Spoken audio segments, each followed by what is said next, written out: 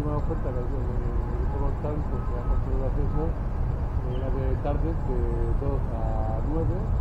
y pues estaba una garita en una, en una clínica, en la clínica diagonal, que está en la calle Mateo